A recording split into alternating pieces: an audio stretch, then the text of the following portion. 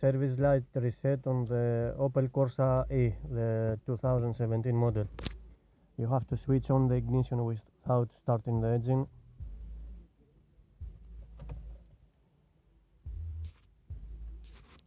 From this button over here we have the menu button and this button you're gonna have to press the menu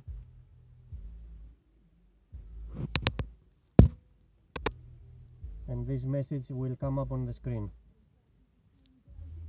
and then you press the reset then you press this one.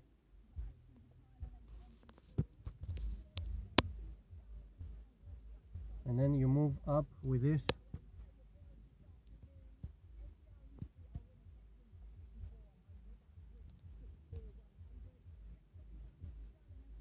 And then to confirm you press this